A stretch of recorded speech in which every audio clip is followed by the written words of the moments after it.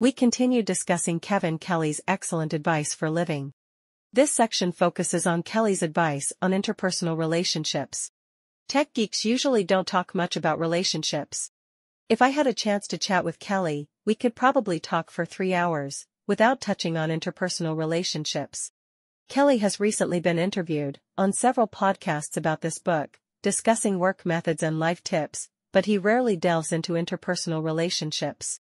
People seem more interested in hearing his views on AI and ChatGPT. We've previously shared The Courage to be Disliked, where Alfred Adler mentions that interpersonal relationships are both the source of troubles and happiness. Understanding this field of study, if you completely ignore it, you may have fewer troubles, but you won't gain much happiness either.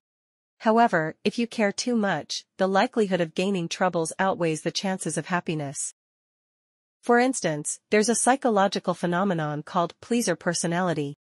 These individuals excessively care about their relationships with others, are overly sensitive to how others treat them, fear rejection and isolation, and tend to compromise excessively, even avoiding saying no to people, disregarding their own needs. You might have encountered such individuals. They seek approval from everyone, yet people don't hold them in high regard. On the opposite side, there's the self-centered type. These people often show complete disregard for others' feelings, prioritizing their own needs and emotions, saying and doing whatever they want, and demanding what they desire. While they may feel good about themselves, others might see them as obstinate toddlers. Now, you might wonder, as a tech enthusiast, I just want to focus on my work honestly. Can I lower my presence in interpersonal relationships? Unfortunately, no. Geeks are also human, and especially if you want to achieve something significant, you need to collaborate with others and interact with people. Or perhaps you should craft a charismatic image, like some leaders do. Carefully creating an amiable image, seemingly casual yet meticulously observed, practicing various etiquettes, aiming to provide a refreshing feeling to others. Does this work? It's not only tiring, but can also make you seem insincere. Without genuine sincerity, relationships can lack authenticity. While Kelly's advice might not be mainstream in China, you can't say that, these are exclusive to Americans. I believe these are the common traits of wise individuals throughout history. The core idea of these suggestions is don't aim to have others like you. Aim to have them respect you. Like can be towards people, pets, or tools. Respect allows you to act freely in relationships, unleashing your potential. True respect is earned, and you must hold yourself to certain standards. To gain respect, based on my understanding of Kelly's advice, you need to cultivate four levels of skills, from basic to advanced. First is sincerity, second is proactiveness, third is mentoring and nurturing subordinates, and fourth is controlling anger. These skills assume you act as an adult, a person of integrity, rather than someone constantly on edge, desiring opportunism while being petty. When interacting with others, it's best to assume everyone is an adult. If you find no adults present, then be the only adult. This isn't self-sacrifice. It's the best for everyone. This section primarily covers sincerity and proactiveness. Kelly's advice is primarily a mindset rather than a technique. He says, your heart needs to be as educated as your mind. The foremost education is sincerity. Chinese philosophy believes in the inherent goodness of human nature. People are originally sincere and good. So, how do some people learn to be crafty and opportunistic? This might be related to the societal environment. In harsh conditions with limited resources, a society might foster a bottom-level harming each other situation, where being overly cautious becomes a survival strategy. However, you must understand that, experiences from such a bottom-level environment, regardless of their accuracy, are not suitable for a better social environment. If you're afraid of being deceived and, hence hesitate to engage sincerely with others, your losses will be far greater. Kelly says, getting cheated occasionally is the small price for trusting the best of everyone, because when you trust the best in others, they generally treat you best.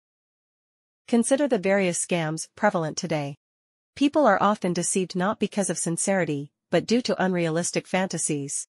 If you fantasize about getting rich easily, scammers find opportunities.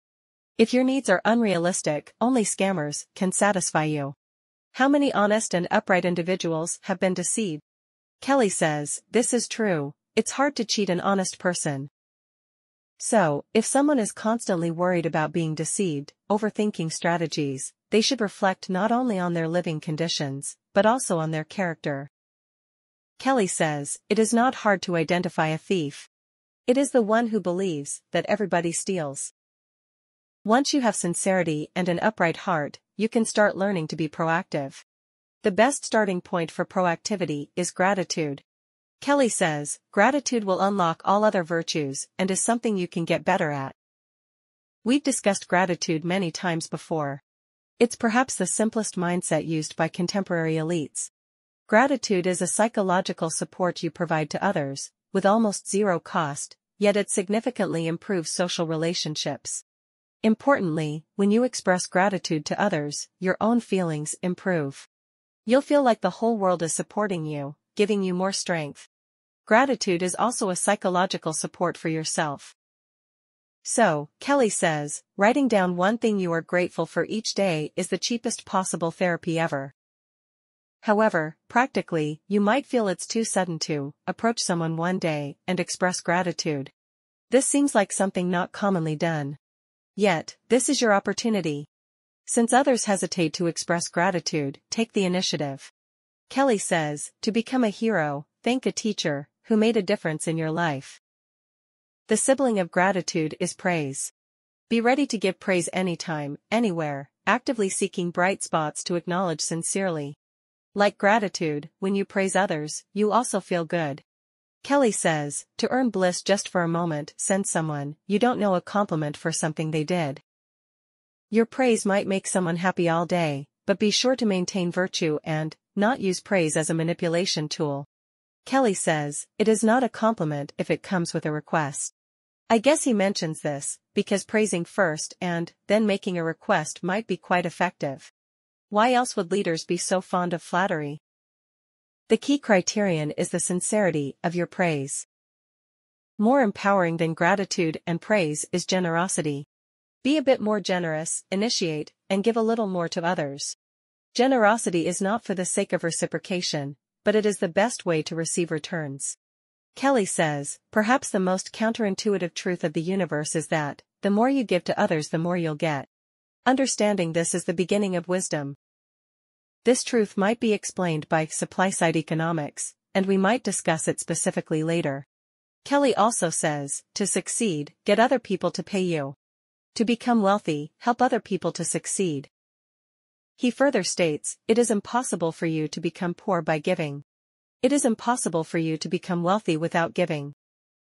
So, if you want to be generous, might as well be more generous. Kelly says, be more generous than necessary. No one on their deathbed has ever regretted giving too much away. There is no point to being the richest person in the cemetery. He also says, when in doubt, overtip. Of course, better generosity involves more than just tips. It includes helping others and contributing to society. Kelly says, whenever you have a choice, between being right or being kind be kind. No exceptions. Don't confuse kindness with weakness. He says, be extremely stingy in making promises, because you must be generous in keeping them. He says, instead of asking your child what they learned today, ask them who they helped today.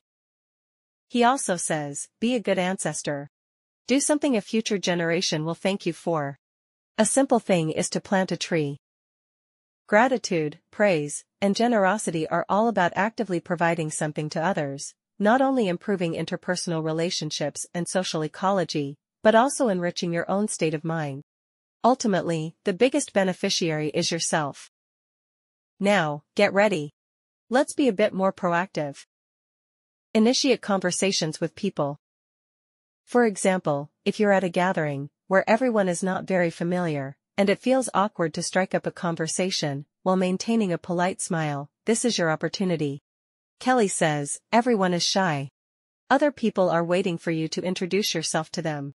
They are waiting for you to send them an email. They are waiting for you to ask them on a date. Go ahead. The person who initiates contact tends to receive extra points. Overall, I feel there's an asymmetric effect in interpersonal communication. If someone does this to you, you usually don't mind and even welcome it, but you hesitate to do it to others. The most typical scenario is asking for help. Walking down the street, a stranger asks you for a small favor, like borrowing your phone to make a call, and you typically won't refuse. Yet, experiments show that, many people are unwilling to actively seek help from others. Perhaps, they fear rejection. So, how do you ensure that, the other person is willing to engage with you? Kelly has a key suggestion here, which we'll discuss later. Hope this session makes you more open-minded and proactive. If you want to accomplish something significant, be a bit more proactive. If there are no adults in the room, then be the only adult. Light up wherever you appear. However, what I want to emphasize more is the spirit of supply side. I don't ask what I should receive. I ask what I can provide. This is the most important lesson for adults. I plan to demonstrate this principle from an economic perspective in the future. This concludes this part. In the next section, we'll discuss the perspective of others.